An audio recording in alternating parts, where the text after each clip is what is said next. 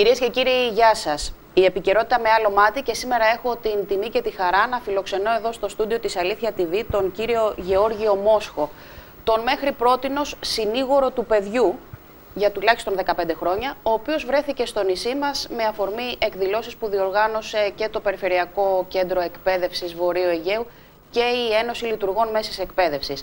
Ο κύριος Μόσχος είναι νομικός, έχει ασχοληθεί πάρα πολύ με τα δικαιώματα των παιδιών και στοιχείο επισκέφθηκε και σχολεία, ε, είχε συναντήσεις και με εκπαιδευτικούς και θεωρήσαμε ότι είναι καλό να κάνουμε και μια συζήτηση εδώ στο στούντιο για τα περίφημα δικαιώματα των παιδιών. Να σας καλωσορίσω, κύριε Μόσχο. Καλημέρα σας. Στοιχείο, στην οποία βέβαια έχετε ξανάρθει, έτσι. Πολλές φορές. Ε, συνήγορος του παιδιού, για τουλάχιστον 15 χρόνια. Χρειαζόμαστε συνήγορο του παιδιού. Και μάλιστα σε μια χώρα που υποτίθεται ότι ε, έχουμε ξεπεράσει τις παιδικές ασθένειες, είμαστε η χώρα της δημοκρατίας και δεν είμαστε και σαν τις χώρες από τις οποίες βλέπουμε πλέον να μας έρχονται και πολλά παιδιά, ενώ τις ανατολικές.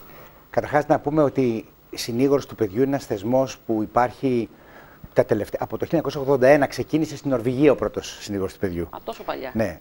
Ε, και υπάρχει στην Ευρώπη, τώρα έχουμε 47 στη, στο, στις χώρες του Συμβουλίου της Ευρώπης, πλέον της Ευρωπαϊκής Ένωσης, έχουμε, έχουμε πολλούς αντίστοιχους θεσμούς, σε εθνικό επίπεδο και μερικά σε περιφερειακό, γιατί υπάρχουν, είναι ανεξάρτητες αρχές που βλέπουν, υποστηρίζουν και αναδεικνύουν τα δικαιώματα των παιδιών, όχι μονάχα των πολύ κατατρεγμένων και ε, θυμάτων βίας κλπ, αλλά όλων των παιδιών, θέματα που έχουν να κάνουν με την καθημερινότητά τους, την ανάδειξη του παιδιού ως ενός προσώπου, μέλους της κοινωνίας, ε, που χρειάζεται την ειδική προσοχή. Και όλα, όλα τα παιδιά ανεξαιρέτως χρειάζονται την οπτική της συνηγορίας. Την ανεξάρτητη αρχή στη χώρα μας τη δημιούργησε ο νομοθέτης το 2003. Αποφάσισε να την εντάξει στο συνήγορο του πολίτη. Ένα τμήμα του συνήγορου του πολίτη είναι. Έτσι. Ναι. Και όπου τότε ανέλαβα, ήμουν ο πρώτος που ανέλαβε αυτή τη θέση. Αλλά ας σκεφτούμε λιγάκι τι σημαίνει, τι είναι αυτή η θέση και γιατί έχουμε τα δικαιώματα του παιδιού σε τόσο μεγάλη προσοχή. Η Σύμβαση για τα Δικαιώματα του Παιδιού είναι ένας παγκόσμιος νόμος που υιοθετήθηκε από τον ΟΗΕ το 1989. Κλείσαμε 30 χρόνια τώρα. Δηλαδή πρόσφατα σχετικά. Γιατί η μια ειδική σύμβαση για τα παιδιά; Διότι αφενός τα παιδιά είναι πολύ ευάλωτα και μπορεί εύκολα να γίνουν θύματα, αφετέρου χρειάζεται μια υπενθύμηση, διαρκής υπενθύμηση, τι κάνουμε απέναντι σε όλα τα παιδιά; Στο παιδί που φαίνεται να είναι εύπορο, αλλά από την άλλη πιθανώς μέσα στην ψυχή του έχει τρόπους που δεν εκφράζεται, που νιώθει ότι υποτιμάται, ότι, ότι έχει ανάγκη να εκφράσει τη γνώμη του. Το άρθρο 12 της Σύμβασης για τα Δικαιώματα του Παιδιού λέει ότι όλα τα παιδιά έχουν δικαίωμα να εκφράζουν ελεύθερα τη γνώμη τους και εμείς πρέπει να τα λαμβάνουμε υπόψη. Και επίσης σε θέματα καθημερινότητας, μην νομίζετε ότι τα, τα παιδιά που νομίζουμε ότι είναι όλα καλά δεν έχουν παράπονα ή δεν έχουν, ε, να μην πω από τους απόντες γονείς ή από τους γονείς που δεν ξέρουμε πώς να προσεγγίζουμε τα θέματα εφηβείας, τα θέματα των μικρών παιδιών και ορισμένες φορές μπορούμε να είμαστε και λάθος στις τοποθετήσεις μας. Λοιπόν, τι είναι ο συνήγορος; Είναι μια υπενθύμηση.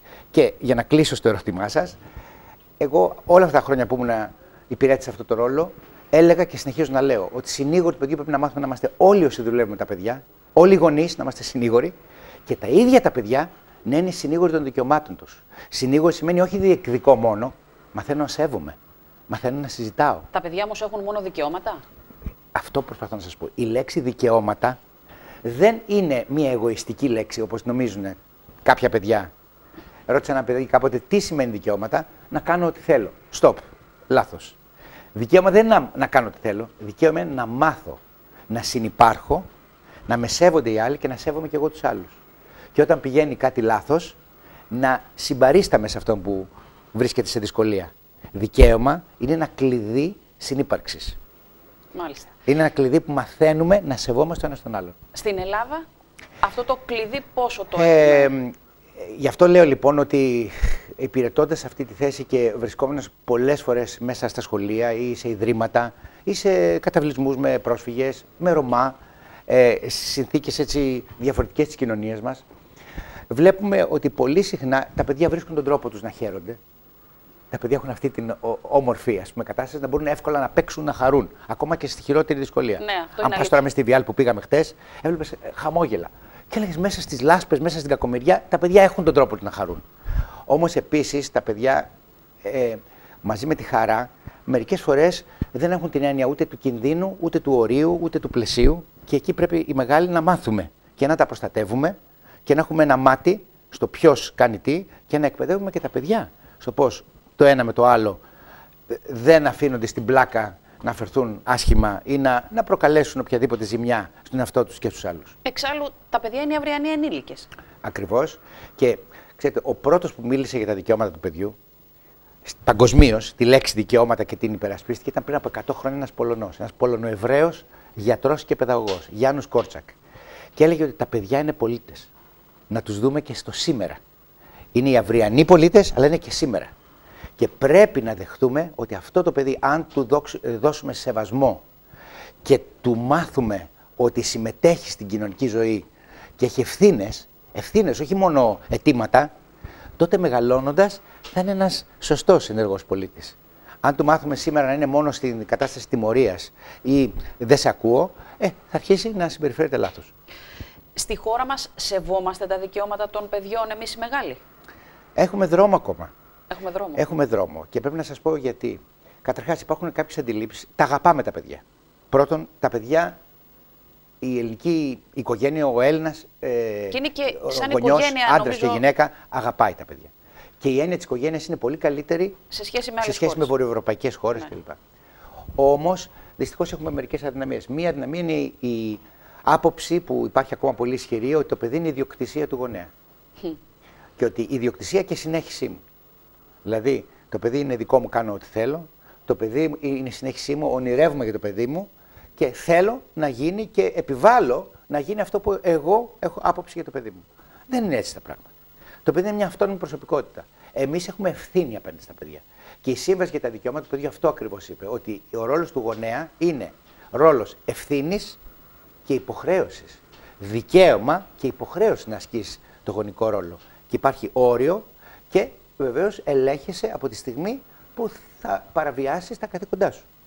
Και εκτός από τη σύμβαση, έχουμε και εθνική νομοθεσία, την οποία χρειάζεται να την υπενθυμίζουμε για τα όρια άσκησης του γονικού ρόλου. Οι περισσότερες περιπτώσεις που έρχονταν στο συνήγορο του παιδιού, τι αφορούσαν, κακοποίηση, Κοιτάξτε, παραμέληση; Όχι, δεν ερχόντουσαν πάρα πολλές περιπτώσεις κακοποίησης και θα μιλήσουμε, αν θέλετε, να δώσουμε λίγο χρόνο, τι σημαίνει κακοποίηση, παραμέληση και τι κάνουμε σε αυτά. Γιατί δεν μιλάει εύκολα κάποιος για αυτά. Ερχόντουσαν περιπτώσεις που έχουν να κάνουν με την εκπαίδευση, ερχόντουσαν περισσότερο γονείς που διεκδικούσαν για τα παιδιά τους θέματα. Τα ίδια τα παιδιά σε μικρό ποσοστό ε, απευθύνονταν σε ένα μακρινό, άγνωστο σε αυτούς φορέα και γι' αυτό και όλα και εμείς κάνουμε πάρα πολλές επισκέψεις. Όταν θα βρεθούμε σε ένα σχολείο, από ένα νηπιαγωγείο μέχρι ένα λύκειο και κάτσουμε και βάλουμε τα παιδιά να κάτσουμε γύρω, όπως έκανα και χθες με τα παιδιά στα σχολεία που επισκέφτηκα, εκεί μετά από μια πρώτη αμηχανία, μετά από λίγο αρχίζουν και ανοίγονται. Και σου λένε και σου μιλούν και σου, και σου, και σου λένε αυτά τα οποία τους απασχολούν. Εκεί λοιπόν βλέπεις ε, πώς υπάρχουν θέματα ε, στην καθημερινότητα για λάθη που κάνουμε εμείς οι μεγάλοι και πρέπει να τα ακούσουμε με πολύ προσοχή τι έχουν να μας πούν τα παιδιά. Και τα παιδιά μας λένε, ως προς το σχολείο για παράδειγμα, τα λέω πολύ επιγραμματικά, ότι πολύ συχνά η προτεραιότητα είναι να κάνουμε την ύλη, να διδάξουμε, να τελειώσουμε αυτό που είμαστε υποχρεωμένοι να κάνουμε και ξεχνάμε το κομμάτι που λέγεται ψυχή, δεσμός, χαρά, και το παιδαγωγικό συνύπαρξη, ναι. ο παιδαγωγικός ρόλος. Οι γονείς επίσης. Πετάμε, κοιτάμε και εμείς πολλές φορές την ύλη. Γυρνάει το παιδί από το σχολείο, τι βαθμούς πήρες, έλα να φά, τα ρούχα σου και ξεχνάμε τι νιώθει ένα παιδί. Και δεν ακούμε με προσοχή το παιδί. Δεν βρισκόμαστε μπροστά στην εμπειρία του παιδιού. Δεν ε, καθόμαστε με προσοχή να ακούσουμε και να καταλάβουμε ε, αν έχει συναχωρηθεί. Ε, τι, τι έγινε, γιατί συνέβη αυτό. Πώς μπορούμε να βοηθήσουμε το παιδί να δυναμώσει. Και όταν ξαφνικά δούμε ότι υπάρχει κάτι λάθος, αρχίζουμε τις καταγγελίες. Ξέρετε πόσες καταγγελίες πήρα όταν έγινε η υπόθεση για κουμάκι με, την, ε, με το bullying, ε, την, το περίφημο στην. που ήταν μια φοβερή υπόθεση, πάρα πολύ ε, άσχημη και αρνητική. Αλλά πώς αρχίσαν οι γονείς να καταγγέλνουν το σχολείο, να καταγγέλνουν τους άλλους, αντί να υποστηρίζουν σωστά τα παιδιά τους στο πώς θα τα βγάλουν πέρα. Καταλαβαίνετε τι θέλω να πω. Ότι βάζουμε ότι οι άλλοι όλοι φταίνε και το δικό μας κομμάτι ευθύνης, που είναι να υποστηρίξω το παιδί μου, να το, να το σταθεροποιήσω, να του δώσω την αγκαλιά φροντίδας και ενδυνάμωσης, την ξεχνάμε. Αυτό είναι το μήνυμα λοιπόν των δικαιωμάτων. ε, το δικαίωμα σημαίνει να μάθουμε και στα παιδιά και εμείς να σεβόμαστε την ύπαρξη του παιδιού και να υποστηρίζουμε τη δυνατότητά του να ε, υπάρξει αυτόνομα όσο γίνεται καλύτερα. Στα χρόνια της κρίσης τα προβλήματα επιδεινώθηκαν στην ελληνική κοινωνία; Κοιτάξτε, βέβαια, είχαμε και περισσότερες οικογένειες που δεν μπορούσαν να διαχειριστούν εύκολα ε, λόγω του οικονομικού προβλήματος και της σχέσης τους, άγχος στην οικογένεια, στρες. Εμείς είχαμε κάνει το 12, δεν θυμάμαι, είχαμε κάνει μια έρευνα με, μαζί με παιδιά στα σχολεία ε, ε, για το πώς νιώθουν σε σχέση με την καθημερινότητα και πώς αν έχει διαταραχθεί η, η, η ηρεμία της οικογένειάς τους. Και ε, ακούγαμε ότι καταρχάς το, τότε, θυμάμαι, ε, ότι ένα πολύ μεγάλο ποσοστό παιδιών ε, ενδιαφέρονταν οι γονείς τους να πάνε σε άλλη χώρα να μεταναστεύσουν ε, για να ε, βρουν δουλειά και να μπορέσουν να αποκαταστήσουν το εισόδημά τους. Αυτό από μόνο του, όταν είχε στην αγωνία ότι θα φύγει ο, ο, ο πατέρας, θα φύγει ένα μέρος της οικογένειας, δημιουργούσε ένταση μες στην οικογένεια. Και βεβαίως κάποιες περιπτώσεις είχαμε και άσκηση βίας και μεταξύ των γονέων. Είχαμε περισσότερες εντάσεις, πράγματι. Ε, άρα. Ε... Και φυσικά και φτώχεια μεγαλύτερη. Ναι. Όμως αυτό που εντάθηκε περισσότερο ήταν η κακοποίηση, θα λέγαμε. Η κακοποίηση, καταρχάς, έχει πάρα πολλούς παράγοντες. Και τι θα πει κακοποίηση, κακοποίηση είναι μια λέξη που χωράει πάρα πολλά πράγματα.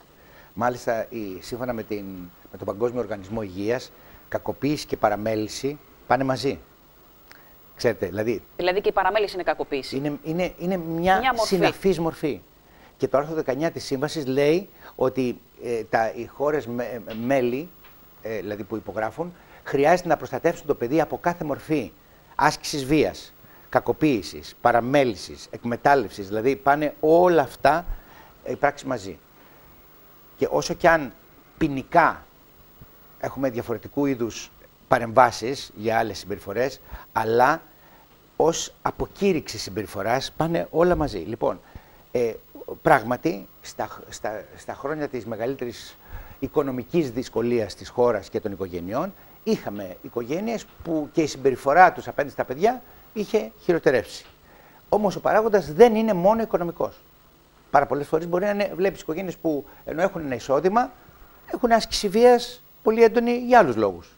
Για λόγους κακών σχέσεων, αλκοολισμού, ε, ψυχικών διαταραχών, ε, μη αποδοχής μέσα σε μια κοινότητα που βρίσκονται κάποιοι και έχουν μια επιθετικότητα κτλ. Και το, το πάρα πολύ σπουδαίο, και αυτό κάναμε με το συνήγορο του παιδιού έτσι, ε, ε, ε, πολύ μεγάλες προσπάθειες και αποδοτικές σε κάποιο βαθμό, είναι να αναγνωρίσουμε το ό,τι γίνεται μέσα στην οικογένεια, κακοποίηση, παραμέληση ενός παιδιού, είναι θέμα που μας αφορά όλους. Είναι κοινοτικό. Δεν είναι δικό τους θέμα και όχι δικό μας. Τα ενίκο μη ενδύμο που λένε. Δεν ισχύει σε αυτή την περίπτωση. Δεν ισχύει για τα θέματα της κακοποίησης. Ο νόμος 3500 του 2006 που υιοθετήθηκε και με τη δική μας συνεισφορά λέει ότι ο εκπαιδευτικός υποχρεούται να ενεργεί όταν πληροφορείται ή διαπιστώνει ότι ένα παιδί είναι θύμα ενδοοικογενειακής βίας. Τι σημαίνει αυτό; Ότι δεν είναι αυτεπαγγέλ, ότι, ότι δεν είναι ένα, ένα αδίκημα το οποίο θα επιληφθεί ο εισαγγελέας και το δικαστήριο μόνο αν το καταγγείλει το θύμα. Το ίδιο το παιδί δηλαδή; Ναι, το παιδί. Που αυτό είναι πολύ δύσκολο. Που είναι πολύ δύσκολο. Αλλά αν το μάθει ο εκπαιδευτικός, οφείλει ο εκπαιδευτικός να ενεργήσει.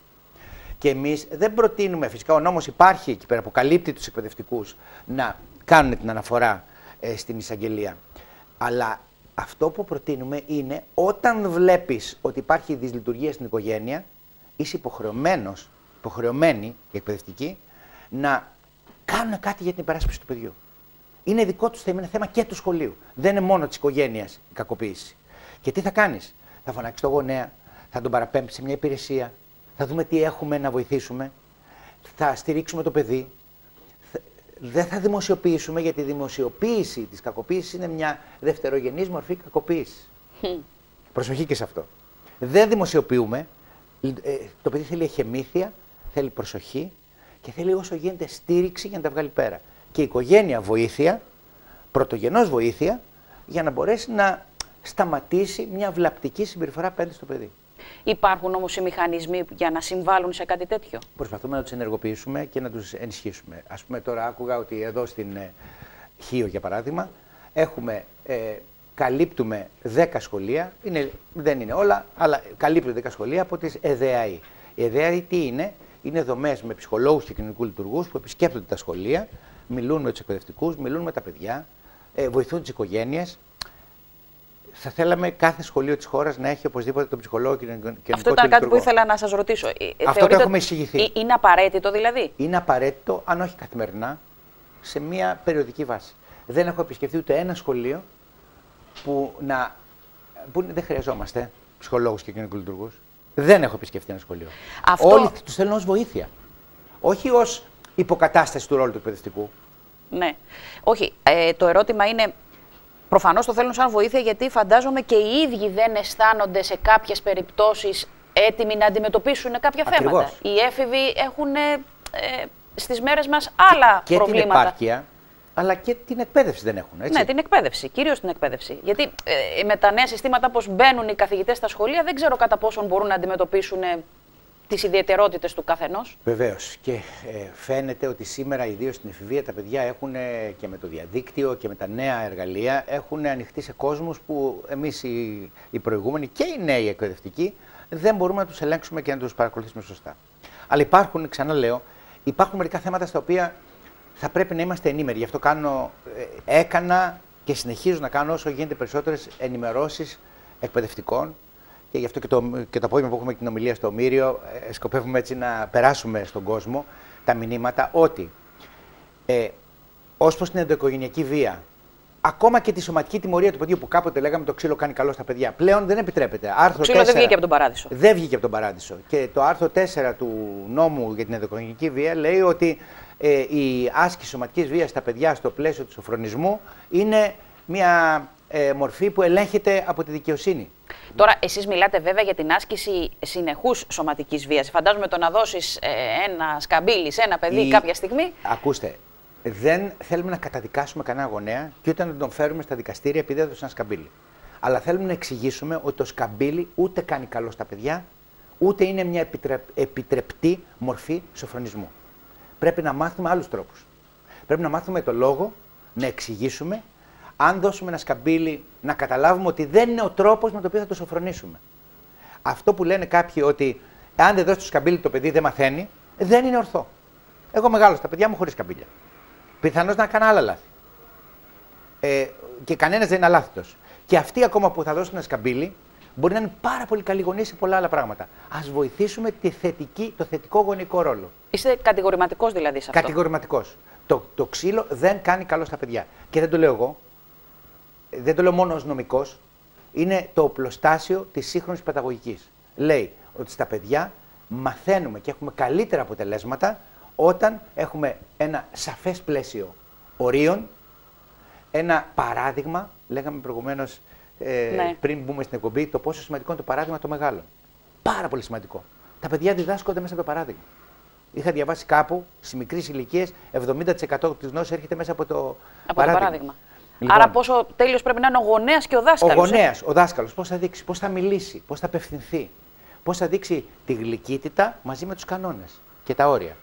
Και τη συνέστηση του πόσο άσχημα θα περάσει ο άλλος από μια δική σου πλακίτσα ή από μια δική σου ας πούμε ενόχληση που θα του κάνεις.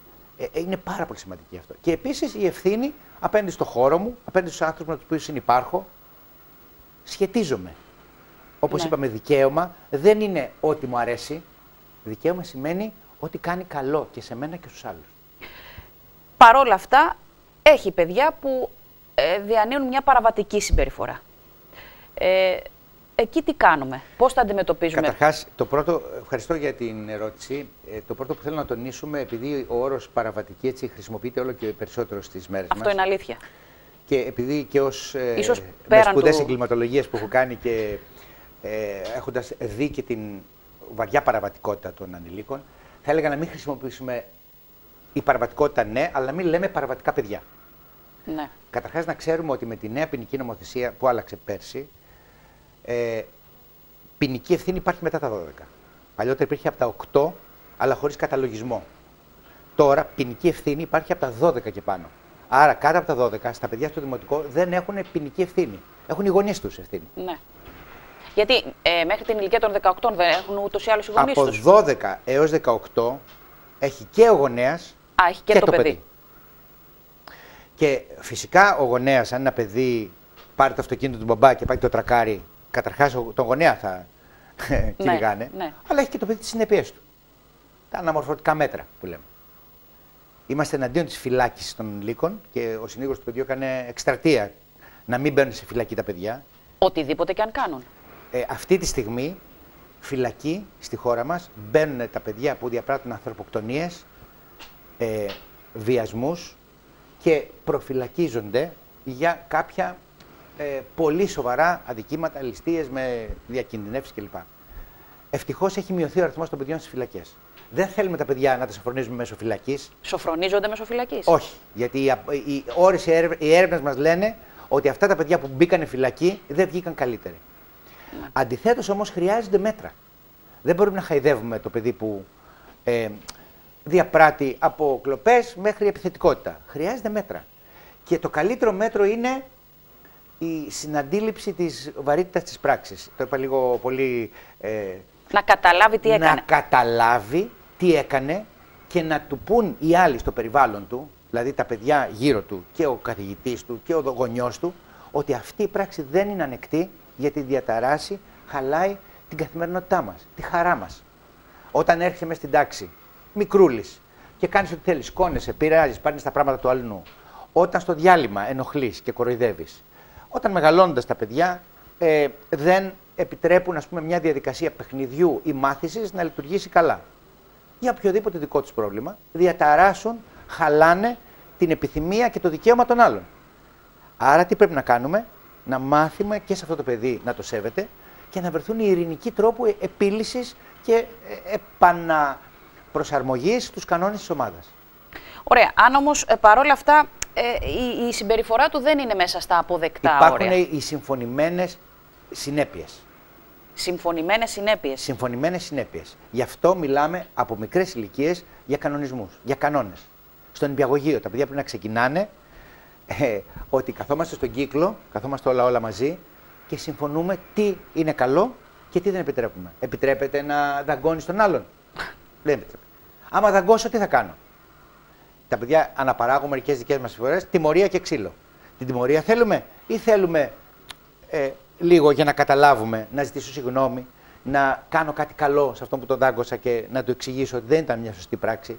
Να καθίσουμε λίγο να. Ε, Πιθανώς αντί για παιχνίδι να κάνω κάτι άλλο που θα είναι η συνέπεια της άδικης μου πράξης, της πράξης που προκάλεσε πόνο και, και στεναχώρια στον άλλον. Και έτσι αρχίζω να καταλαβαίνω ότι δεν είναι όλα ό,τι μου ήρθε και ό,τι κάνω, αλλά έχω συνέπειες. Αυτό πρέπει να ανεβαίνει, λέμε και στο σχολείο, και όσο πιο όρημα είναι τα παιδιά να ξέρουν ότι υπάρχει σχολικός κανονισμός στη ζωή τους. Κανόνες που διαπνέουν την καθημερινότητά μας. Και όταν παραβιάζεις ένα κανόνα έχεις τη συνέπεια. Ναι. Ε... Πολύ, συγγνώμη, συγγνώμη, πολύ συχνά συζητάμε τα παιδιά που λένε Αχ, δεν θέλω τους κανόνες, αφήστε με λίγο. Και όταν λες, εντάξει, για να δούμε τι θα συμβεί άμα, άμα καταργήσουμε τους κανόνες μετά από λίγη συζήτηση λέει: Όχι, όχι, όχι, θέλω κανόνες. Μόνο το παιδί ζητάει τους κανόνες. Και το, τους κανόνες που, που ζητάει μερικές φορές είναι πιο αυστηροί και από τους δικούς μας. Γιατί το παιδί χρειάζεται όρια και κανόνες για την ψυχική του ισορροπία. Ταυτόχρονα όμως αντιδρά, ε, ειδικά στην εφηβεία, στα όρια και στους κανόνες. Να σας πω κάτι. Αντιδρά γιατί ζητάει από εμά και στην εφηβεία πρέπει να το ξέρουν οι γονείς, ζητάει από εμείς να είμαστε σταθεροί. Δεν ζητάει, δεν θέλει την να θυμόμαστε όποτε μας καπνίσει ξαφνικά να έχουμε τιμωρίες ή να θυμόμαστε ξαφνικά τώρα, ε, μην κάνεις αυτό το πράγμα. Χρειάζεται να είμαστε σταθεροί. Πότε αντιδράει επίση ένα παιδί στην εφηβεία; Ψάχνει τη δική του ταυτότητα και δεν θέλει να είναι πνιγμένο μέσα στις επιλογές των γονέων. Ο γονέας θα αφήσει ένα παιδί τελείως παντελώς ελεύθερο; Όχι. Χρειάζεται να έχει κανόνες. Χρειάζεται να πεις: 10 ώρα το βράδυ θα γυρίσεις, θα γυρίσεις. Δεν είναι σταθερός αυτό. Το παιδί θα θέλει να γυρίσει 11. Θα θέλει να πάει με τους φίλους του. Ο άλλος του επιτρέπει να κάτσει 11 και 12. Εμείς χρειάζεται να είμαστε σταθεροί σε αυτό που επιλέγουμε, γιατί κάθε οικογένεια έχει τον δικό της τρόπο, να εξηγούμε και βεβαίως κάποια στιγμή να έχουμε τη δυνατότητα αναπροσαρμογής σύμφωνα με τους κανόνες του πλαισίου της οικογένειάς μας. Που δεν πρέπει να είναι ό,τι κάνουν οι άλλοι. Το ό,τι κάνουν οι άλλοι οδήγησε σε παιδιά σε μικρές ηλικίες να οδηγάνε μηχανάκια και να, έχουν και να σκοτώνονται. Επειδή κάποιος άλλος γονέας δεν ήταν σωστός. Σωστά. Ο, οδήγησε παιδιά να μπαίνουν στο διαδίκτυο ανεξέλεγκτα, να κάθονται με τις ώρες και να γίνονται εξαρτημένα. Οδήγησε παιδιά ε, να καπνίζουν σε μικρέ ηλικίες επειδή κάποιοι άλλοι του κάνουν για μαγκιά αυτή την ιστορία. Εμείς θα πρέπει να είμαστε σαφείς ότι υπάρχει, υπάρχουν κανόνες προστασίας της υγείας και της εξέλιξης. Μάλιστα. Θα κάνουμε ένα μικρό διάλειμμα στο σημείο αυτό και θα επανέλθουμε.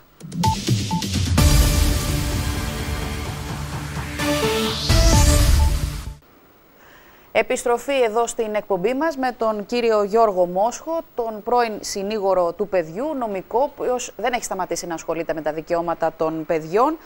Ε, στην πολύ ενδιαφέρουσα κουβέντα μας θέλω να ρωτήσω αν τα προβλήματα στα σχολεία των αστικών κέντρων είναι περισσότερα από αυτά της περιφέρειας, γιατί έχουμε την εντύπωση ότι οι μικροί κλειστοί τόποι μπορούν να ελέγξουν καλύτερα τα πράγματα. Κοιτάξτε, υπάρχουν διαφορετικής φύσης προβλήματα. Ε, ναι, ίσως στις πόλεις αντιμετωπίζουν με πιο έντονη την αποξένωση και διάφορα προβλήματα και με τη φτώχεια και με την ε, επιθετικότητα ορισμένες φορές. Απ' την άλλη είχαμε στοιχείο την περίπτωση των Λόκος. Φυσικά, φυσικά. Και, και θα έλεγα και όχι μόνο στοιχείο, σε όλη την Ελλάδα στην περιφέρεια, πάρα πολλές φορές βλέπεις ότι υπάρχουν πράγματα που ξαφνικά τα, τα, τα συνειδητοποιούμε και, και λέμε. Ταρακουνούν ναι, και πέσαμε από τα σύννεφα. Ναι ενδοκοινιακή βία. Την αποκρύπτουμε. Ε, συμπεριφορές παιδιών που τις ανεχόμαστε και ξαφνικά λέμε τεράστιο πρόβλημα. Ε, δεν πειράζει τώρα στην εφηβεία, είναι, ε, παίζει λίγο με τα ναρκωτικά. Δεν είναι. Χρειάζεται να έχουμε ένα, μια, ένα μάτι επαγρύπνησης. Αυτά υπάρχουν δίπλα μας. Και βεβαίως οι ευθύνες και των γονέων είναι πάρα πολύ μεγάλες. Χρειάζεται ε, η ενδυνάμωση των εκπαιδευτικών, γι' αυτό το κάναμε και στοιχείο για άλλη μια φορά που ήρθαμε τώρα, στο να τι κάνω όταν βλέπω μπροστά μου ένα παιδί σε δυσκολία. Ένα παιδί που δεν πατάει καλά στα πόδια του. Είτε επειδή στην οικογένειά του κάτι τρέχει, ένα κακό διαζύγιο. Ξέρετε πόσες φορές οι γονείς κακοποιούν τα παιδιά μέσω των διαζυγίων. το έλεγε και η εισαγγελέας εδώ πέρα, η κυρία Σταυράτη, η οποία είναι πολύ έτσι, ε, ενεργή στην προστασία των δικαιωμάτων ναι. που είναι εξαιρετική. Έχω χρόνια την ξέρω, την γνώρισα στις αίρες και χάρηκα έτσι που την ξαναείδα εδώ στο ηχείο που ήρθα τώρα αλλά πόσες φορές τα παιδιά τα έχει δει να θυματοποιούνται από την κατάσταση της διαμάχης των γονέων μεταξύ τους. Χωρίζουν και αρχίζει ο ένας να φέρεται, ε, ε, ε προκειμένου να πάρει το παιδί κοντά του, ε, συμπεριφορές που είναι στην πραγματικότητα νέες μορφές κακοποίησης του παιδιού. Και αυτό έχει δυσμενείς συνέπειες και σε όλες μετά τις συμπεριφορές του παιδιού και πόσο θα παίξει με τα ναρκωτικά στην εφηβεία και πόσο θα εκτεθεί σε άλλους κινδύνους. Λέω λοιπόν ότι να μην επαναπαυόμαστε ότι επειδή είμαστε μακριά από τις πόλεις όπου συμβαίνουν τα, τα φρικτά και άσχημα που βλέπουμε στην τηλεόραση και εδώ είμαστε κοντά στη φύση και όλα πάνε καλά. Ε, χρειάζεται μια εγρήγορση και χρειάζεται κοντινάδα και συμπαράσταση στο παιδί που μεγαλώνει. Αναγνώριση του δικαιώματός του να έχει γνώμη, να έχει άποψη για τη ζωή του, αλλά και φροντίδα για τα συναισθήματά του, για την ε, επικοινωνία του και όπου εμείς δεν τα καταφέρουμε, ας παίρνουμε λίγο βοήθεια. Δεν είμαστε... Ε, και στις μέρες μας υπάρχει πολύ. Υπάρχουν επιστήμονες που μπορούν να βοηθήσουν. Υπάρχουν επιστήμονες και το Υπουργείο Παιδείας αυτή τη στιγμή ε, αποκτά μεγαλύτερη έτσι, ε, υποστήριξη από ανθρώπους ε, και η κοινότητα. Υπάρχουν, υπάρχουν επιστήμονες και πρέπει να αναζητούμε βοήθεια για τις ε, στιγμές που δεν τα καταφέρνουμε. Δεν τα φέρνουμε. Ε, συμπεραίνω ότι τα περισσότερα προβλήματα ξεκινούν από την έλλειψη επικοινωνίας γονέων παιδιών. Αληθεύει αυτό; Είναι αυτό και πάρα πολλές φορές βλέπουμε ότι. Ε, εγώ το έχω ακούσει πάρα πολλές φορές από τα παιδιά ότι η επικοινωνία και η αναγνώριση των συναισθημάτων και των αναγκών του παιδιού είναι κάτι που λείπει είτε από τους γονείς που εργάζονται πάρα πολύ, είτε από γονείς που είναι στο σπίτι και ασχολούνται με άλλα διαφορετικά πράγματα. Γι' αυτό λέω συχνά όταν είμαστε και σε απεύθυνση στο κοινό, βρεθείτε κοντά στα παιδιά σας. Ε, κάντε θετικά πράγματα μαζί με τα παιδιά σας. Ρωτήστε τα, ακούστε τα, όχι σαν ανάκριση, αλλά σαν μια σχέση. Είσαστε, είμαστε τα πιο σημαντικά πράγματα, πρόσωπα στον κόσμο και το παράδειγμα που θα πρέπει να αντιγράψουν μεγαλώνοντας για να γίνουν και αυτά σωστοί καλοί πολίτες. Τώρα, να έρθουμε σε ένα άλλο θέμα το οποίο μας καίει και ειδικά εδώ στοιχείο και σε όλα τα νησιά του Αιγαίου. είναι το προσφυγικό, τα παιδιά πρόσφυγες. Είναι ένα πρόβλημα που ήρθε τα τελευταία χρόνια μέσα στις κοινωνίες μας και το οποίο δυσκολευόμαστε ακόμη να το διαχειριστούμε. Και όσον αφορά συνολικά τον πληθυσμό των προσφύγων και των παιδιών. Δεν λείπουν οι αντιδράσεις όταν τα παιδιά αυτά πάμε να τα βάλουμε στο σχολείο. Τώρα σχεδιάζουμε κέντρα μεγάλα στα οποία λέει μέσα εκεί θα είναι και το σχολείο τους. Ποια είναι η γνώμη σας για το πολύ μεγάλο αυτό ζήτημα; Καταρχάς να σας πω, επειδή είναι ένα πολύ λεπτό, καυτό και δύσκολο θέμα, εμείς δεν βλέπουμε τα δικαιώματα των παιδιών προσφύγων σαν καλύτερα ή μεγαλύτερα από τα δικαιώματα όλων των παιδιών. Τα βλέπετε το ίδιο. Στο ίδιο επίπεδο. Και πρέπει να τα σεβαστούμε όλα. Τα παιδιά είναι παιδιά. Τα παιδιά παιδιά. Επίσης, επειδή έχω συμμετάσχει από το, ιδίως από το 16, το Μάρτιο του 16 που ε, εγκλωβίστηκαν αυτοί οι άνθρωποι στη χώρα που θέλαν να πάνε κάπου αλλού και δεν μπορούσαν με τη ναι, ναι. συμφωνία και έπρεπε να, να, να φροντίσουμε ε, να υπάρχουν στην κοινωνία μας. Δουλέψαμε εντατικά σε συνεργασία και με το Υπουργείο Παιδείας, με την Επιστημονική Επιτροπή του Υπουργείου Παιδείας και όλες τις ε, ε, υπηρεσίες του, στο να βοηθήσουμε την ένταξη των παιδιών στην εκπαίδευση. Γιατί θέλουμε τα παιδιά αυτά στο σχολείο; Γιατί δεν πάνε σχολείο εφόσον μένουν στην κοινωνία, εφόσον μένουν και δεν γυρίζουν πίσω ή δεν πάνε κάπου αλλού. Αν δεν τα έχουμε στο σχολείο, θα τα οδηγήσουμε στην παραβατικότητα. Θα τα οδηγήσουμε σε, σε, σε λάθος συμπεριφορές. Αν γίνουν αποδεκτά στο σχολείο, ε, θα μάθουν και τους κανόνες της κοινωνίας μας. Γι' αυτό το λόγο δουλέψαμε πάρα πολύ. Εξηγήσαμε ότι προβλήματα υγείας δεν υπάρχουν. Ο κόσμος πρώτα ε, ε, φοβόταν την υγεία. Ναι. Αποδείχτηκε στην πράξη ότι δεν υπήρξε κανένα νόσημα που να, να μεταφέρθηκε από τα παιδιά. Δεύτερος φόβος, ότι θα διαταραχθεί η, η ισορροπία και η λειτουργία των τάξεων. Ναι, δουλεύουμε με τάξη υποδοχής. Πρώτα τα παιδιά πρόσφυγες μπαίνουν σε τάξη υποδοχής, μαθαίνουν τη γλώσσα και σιγά σιγά συμμετέχουν στην κοινωνική ζωή μαζί με τα υπόλοιπα παιδιά του σχολείου. Είναι, δεν δημιουργήθηκαν προβλήματα εκεί που πήγαν τα παιδιά, εκεί που δεν ήταν, όμως οι αριθμοί ήταν αντίστοιχοι. Δηλαδή να έχεις ένα σχολείο με 150 ε, παιδιά και έχεις και 15 παιδιά πρόσφυγες. Το 10% δεν είναι διαταρακτικό για το, ναι. για το συνολικό πληθυσμό. Το αντίθετο μάλιστα. Τα παιδιά χαίρονται να υποστηρίξουν το ξένο παιδί που ήρθε, να κάνουν μια φιλία μαζί του, να δώσουν ένα χαμόγελο, να ακούσουν μια ιστορία. Και ξέρετε, έχω ακούσει πάρα πολλές ωραίες ιστορίες από παιδιά Ελληνόπουλα που πάνε. Ήρθαν τα παιδιά πρόσφυγε στο σχολείο μας και έχουμε κάνει φιλίες. Και δεν είναι τόσο τρομακτική. Του μάθα κάτι, μου μάθε κάτι, παίζουμε στο διάλειμμα. Λοιπόν, δεν είναι να φοβόμαστε. Πολλοί γονείς λένε ότι ξέρεις, έρχονται οι άλλες θρησκείες, έρχονται, έρχονται οι άλλοι τρόποι, οι, ε, οι άλλοι πολιτισμοί που είναι πιο βίαιοι, ε, πιο βάρβαροι, λένε κάποιοι κτλ.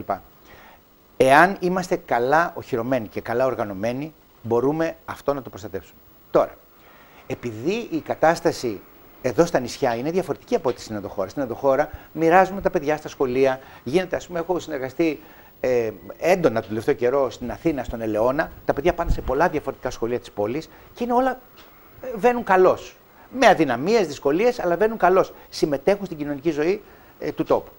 Εδώ όμως, αν έχεις τεράστιους αριθμούς, πολύ μεγάλους αριθμούς, πώς θα τα μοιράσεις τα παιδιά παντού στα σχολεία; Τι θα κάνεις με αυτόν τον πληθυσμό, θα μείνουν, δεν θα μείνουν; Τα ερωτήματα αυτά δεν έχουν απαντηθεί και δεν θα τα πούμε εμείς σήμερα σε αυτήν την εκπομπή εδώ. Αυτό όμως που θέλουμε να καλλιεργήσουμε σαν στάση είναι ε, ότι πρώτον δεν πρέπει να είμαστε γενικά απορριπτικοί στο ότι ξένοι είναι, δεν μας νοιάζει. Είναι παιδιά κι αυτά. Και, και μάλιστα έχουν, έχουν δικαιώματα σαν παιδιά του κόσμου. Τα παιδιά αυτά, αν τους φερθούμε άσχημα, θα φερθούν χειρότερα. Θα μας το ανταποδώσουν. Ή σε εμάς, σε κάποιοι θα το ανταποδώσουν.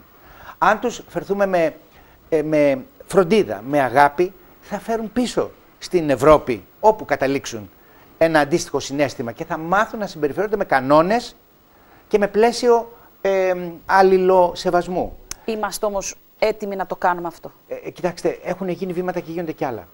Τα ασυνόδευτα παιδιά για τα οποία λέμε. Έχουμε στη χώρα μας αυτή τη στιγμή σχεδόν 5.000 ασυνόδευτα. Όταν μοιράζονται και ενσωματώνονται στην τοπική κοινωνική ζωή σε διάφορες δομές, η συμπεριφορά τους είναι πολύ καλύτερη. Όταν είναι συσσωρευμένα πάρα πολύ Πάρα πολλά. Τώρα αυτή τη στιγμή στη Μόρια υπάρχουν 250 στη Μόρια, λέω, στη, στη Βιάλ. Ναι. 250 συνόδευτα. Πώς αυτά τα παιδιά να συμπεριφερθούν σωστά και πώς να ενταχθούν σε σχολείο. Δεν είναι κάτι καθόλου εύκολο. Βήμα-βήμα, με πολύ προσοχή και χωρίς φόβο. Χωρίς την ξενοφοβία που έχει αίτια. Ε, αίτια έχει η ξενοφοβία. Έχει φοβάσει μην την ανατραπεί ε, ο, ο, ο τρόπος ζωής του τόπου μου. Και είναι λογικό να φοβάσαι.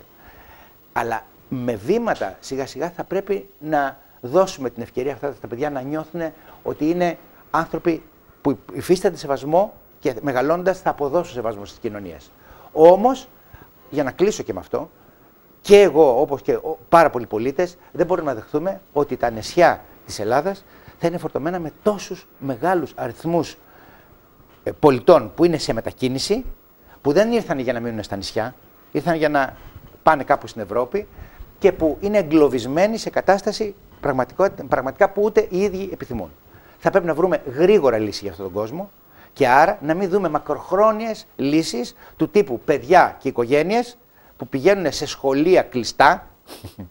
δηλαδή, ναι, μεν εκπαιδευτικές δραστηριότητες για αυτά τα παιδιά, αλλά όχι μεγάλους χρόνους. Πρέπει να βρούμε έναν τρόπο να μην παραμένει μεγάλο χρόνο με οποιαδήποτε λύση είναι η κατάλληλη, η προσφυγική προστασία, η προστασία αυτού που είναι ευάλωτος και που βρίσκεται σε δύσκολη κατάσταση και, εν πάση περιπτώσει, η απόφαση της πολιτείας η πιο κατάλληλη για αυτόν τον πληθυσμό, αλλά όχι παραμονή και μεγάλους χρόνους και μάλιστα σε ανεξέλεγκτε συνθήκες. Που είναι υγειονομικές βόμβες, ας το πούμε έτσι, για όλους και για τους ίδιους και που είναι ε, ε, κατάσταση ζωής ανεπίτρεπτη για το σύγχρονο πολιτισμό.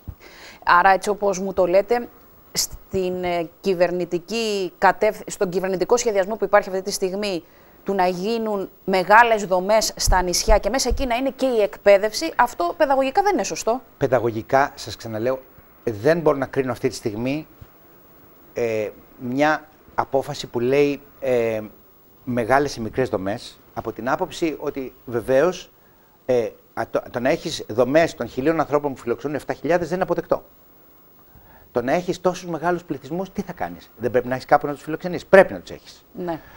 Καλύτερα οργανωμένα μεγάλα παρά μικρά ανοργάνωτα που επιτρέπουν την οποιαδήποτε παραβατικότητα. Καταλάβατε; Ναι. Άρα από αυτή την άποψη το μεγάλο δεν είναι αρνητικό. Τώρα, πού θα είναι αυτό το μεγάλο, θα είναι μέσα στην παγωνιά; Πρέπει να το προσέξουμε και αυτό. Σωστά. Θα είναι στα όρη και στα βουνά; Θα πρέπει να το δούμε με πάρα πολύ προσοχή. Σε αυτό το μεγάλο να είναι τα πάντα, να είναι η περίθαλψη, να είναι η εκπαίδευση, να είναι όλα. Λοιπόν, ε, θα πρέπει την εκπαίδευση πρώτον, να, αν υπάρχει τέτοιο μεγάλο, να μην παραμένει ο κόσμος για πάρα πολύ καιρό. Πρώτον να, να φεύγει γρήγορα. Να φεύγει γρήγορα. Όπου είναι να πάει, να φεύγει γρήγορα. Αυτή είναι η πρώτη επιθυμία. Τώρα θα πείτε, να, ε, είναι να πηγαίνουν στην ενδοχώρα.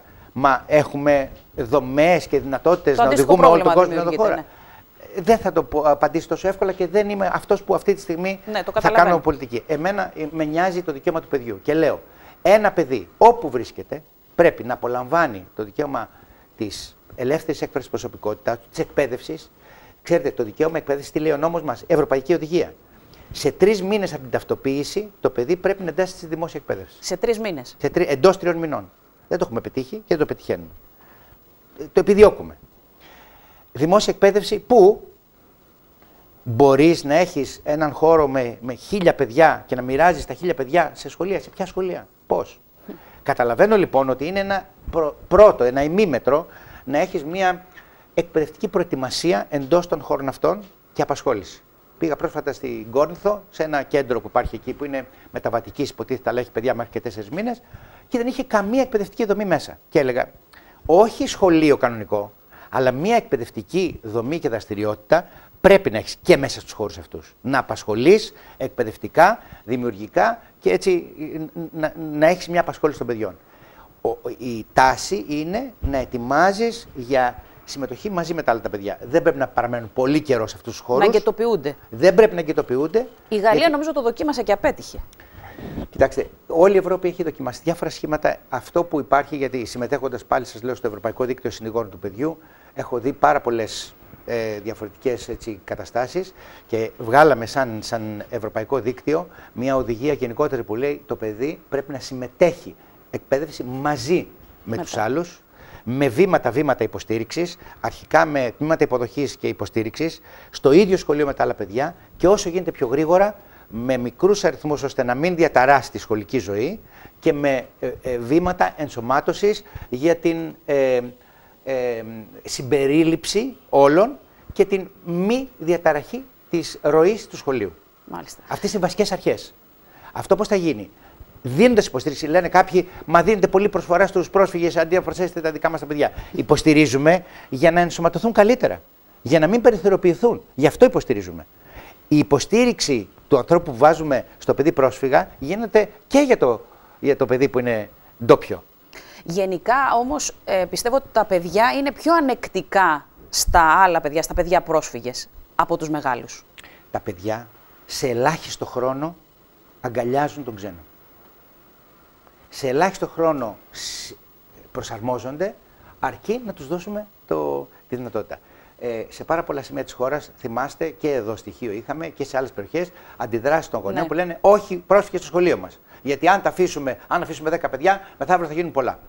Αυτή είναι η βασική, ε, ο βασικός φόβος.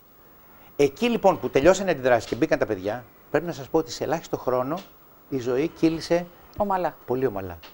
Δεν έχουμε περιστατικά που να μας έχουν προβληματίσει μέσα στα σχολεία. Ε, δεν ξέρω βέβαια πόσο θα κρατήσει το πρόβλημα αυτό. Όλοι λένε ότι η προσφυγική κρίση δεν θα τελειώσει αύριο. Δεν είναι εύκολη.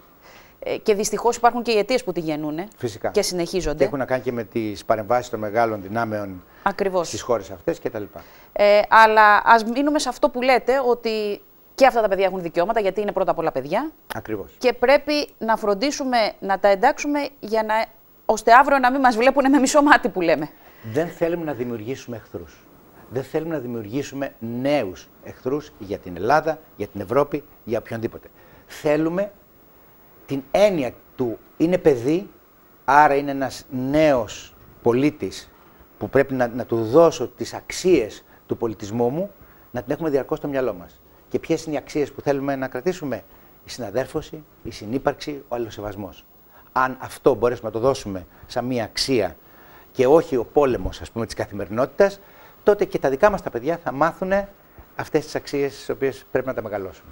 Κύριε Μόσχο, κλείνοντας, θέλω να σας ρωτήσω, είστε αισιόδοξος για την ελληνική κοινωνία και την συμπεριφορά της απέναντι στα παιδιά; Ε, παρόλο που βλέπω συχνά γονείς απελπισμένους και εκπαιδευτικούς που νιώθουν ότι δεν υποστηρίζονται καλά και έχουν παραδώσει τα όπλα, βλέπω και ανθρώπους που το παλεύουν, ανθρώπους που έχουν πολύ διάθεση για έτσι, μικρά θετικά οχυρά στην κοινωνία και βλέπω και παιδιά που όταν οι δάσκαλοι και οι γονείς τους τους δείχνουν το παράδειγμα κάνουν ωραιότατα πράγματα.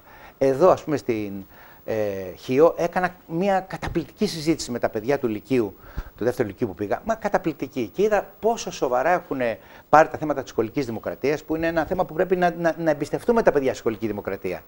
Να συζητάνε, να παίρνουν ε, αποφάσεις και προτάσεις. Να, να δούμε ότι η αισιοδοξία μπορεί να βρεθεί στην καθημερινή μας πρακτική. Μάλιστα. Καθημερινή πρακτική ε, ευκαιρία στο παιδί να ανθίζει και να λάμπει. Αυτό είναι η αισιοδοξία. Δεν είναι κάτι που θα μας έρθει επειδή έχουμε επιφώτιση ότι θα γίνει κάτι στο μέλλον, αλλά ότι το σήμερα ανθίζει, αύριο μπορεί να είναι λουλουδόκηπος. Σας ευχαριστώ πάρα πολύ για την ε, πολύ ενδιαφέρουσα συζήτηση που είχαμε. Να είστε καλά. Γεια σας.